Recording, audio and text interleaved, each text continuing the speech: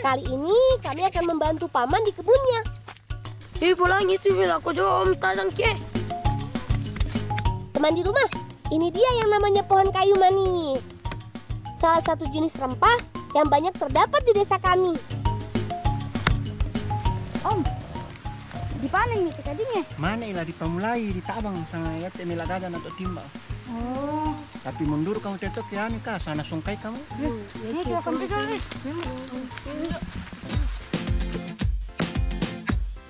Selain untuk dijual, kayu manis juga banyak dimanfaatkan menjadi campuran masakan.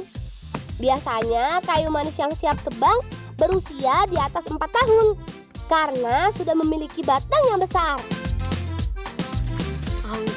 Pasti.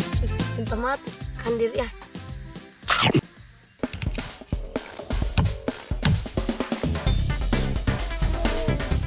Ayo, rapikan bagian ranting kayu manisnya. Setelah itu, potong juga batangnya menjadi beberapa bagian.